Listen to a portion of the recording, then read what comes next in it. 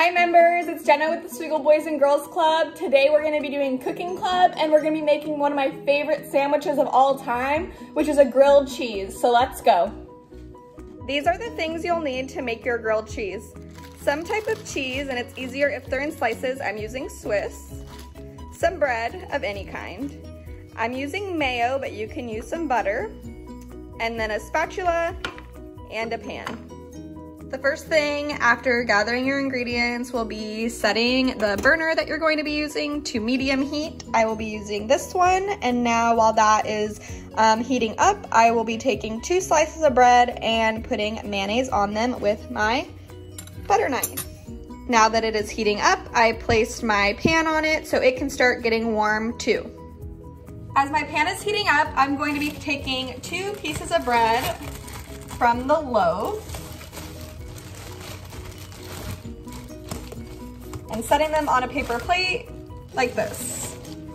I have now coated both of my pieces of bread with some mayo and now I will be placing one of them with the mayo side down onto the pan and you will hear some sizzling. And now I need to grab some cheese to place on top so that can start getting melted. I place three slices of Swiss cheese on top of my bread. You can choose any cheese you want. It's been about two minutes and you can see the cheese is starting to melt and I checked the bottom and it's a little bit brown. So I am going to be placing my second piece of bread on top and flipping it with a spatula.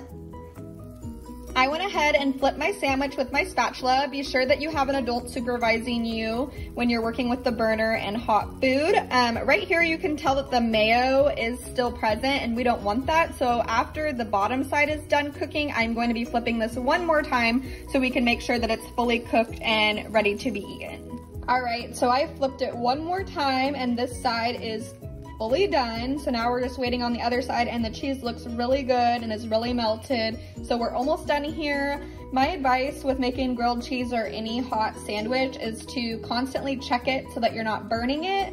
Um, I think the best tasting sandwich is when it's like this golden brown color.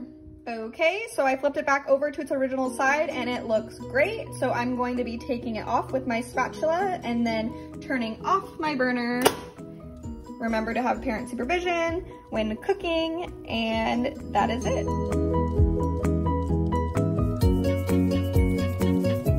Thank you guys so much for watching my video. I do have a couple questions for you before you go, and that is, what is your favorite kind of cheese? I use Swiss in mine because that is my favorite cheese of all time. And then what is your favorite sandwich to make and why? I hope you guys have a great rest of your week and thank you for watching again. Bye!